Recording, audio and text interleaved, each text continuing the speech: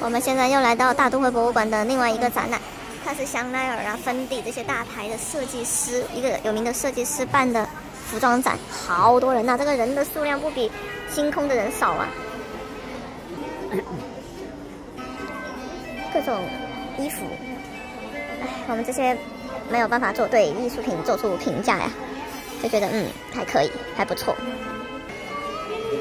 这边的衣服是这个样子的。是什么画风啊？毛毛毛的，各种毛毛。哇，这个这件好好香奈儿啊，非常的香奈儿画风。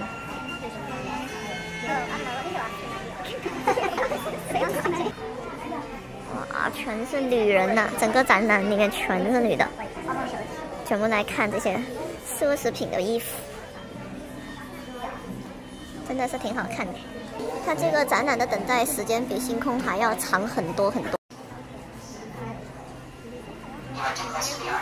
哎呦妈嘞！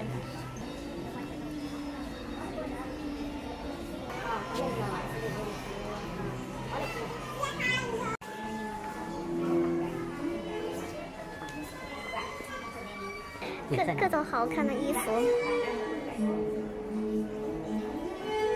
好多啊！这上面还有超级多。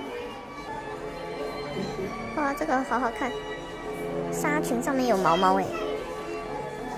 哦，旁边是条点点的，啊，这个好像还蛮经典的，是好漂亮。哎，这边还有好多人，真的是好多啊，气死掉了。这就可以看出来，真大家都是熟人。这个服装展的人绝对比星空要多得多。得出结论就是，梵高没有香奈儿有吸引力。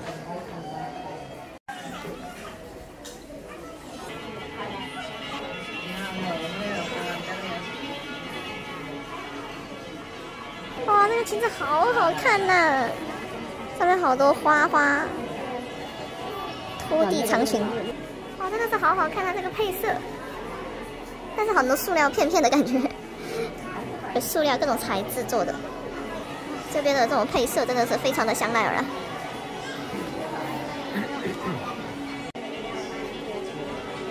这是珊瑚绒毯子做的衣服，好好看。哇，这个城堡，真的是好好看的，怪不得人这么多。啊，都好好看呐！哇，人真的是好多啊，拍个视频真不容易。等一下哈，